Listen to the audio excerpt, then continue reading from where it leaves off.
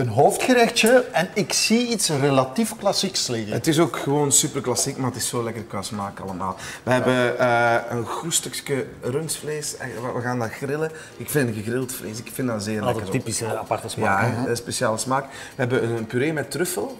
En we hebben courgettes. En het is eigenlijk niet veel complexer dan dat. Dus toch een beetje Sven touch. Helemaal. Ja, ja, wel, ik vind het. Allee, we gaan eens zien wat we er kunnen van maken. De puree, dankjewel chef, die heb je al mooi op voorraad gemaakt. Ja, ja.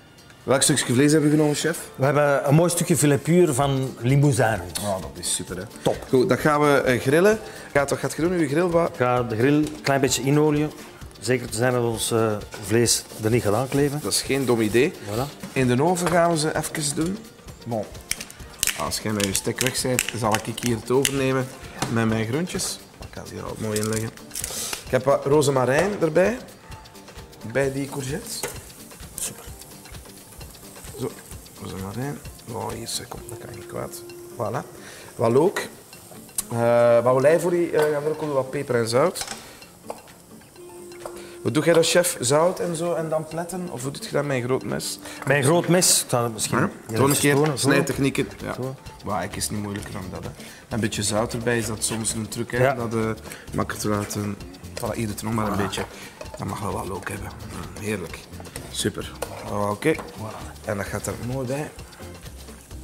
Wat peper en zout. Dan zien we de ingrediënten. Voilà.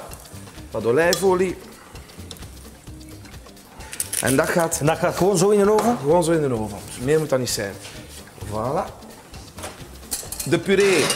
Bon, wat we er speciaal gaan aan maken aan de puree, is dat we er truffel gaan bij doen.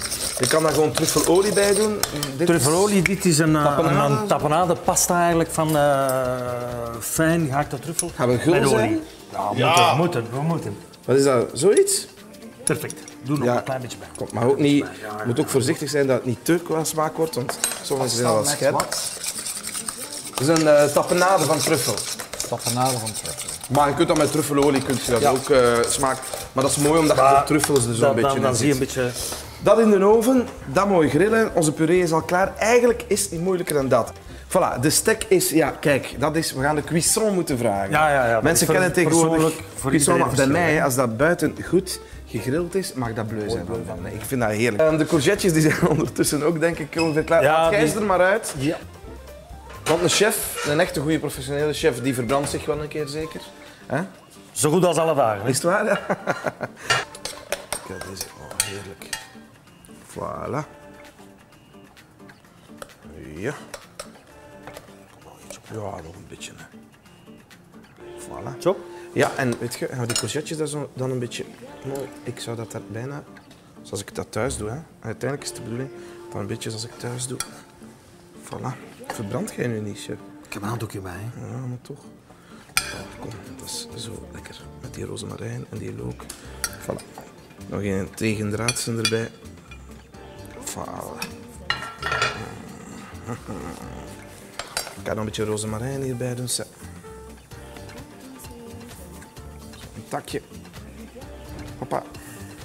En mooi, bleu, slim, zoals dat jij vraagt. hè. Maar ja, We gaan elke klant gaan vragen wat de cuisson is. ah, dat, zal elke wel, klant. dat zal die dag Ja, wel moeten. ja, Ja, ja. En Moeten we hij zeker kan doen. kiezen tussen, Bleu, saignant, à point, bien cuit. in ieder geval, het is een eh, gegrild rundfilet met eh, puree met truffeltapenade en babycourgette. Alsjeblieft.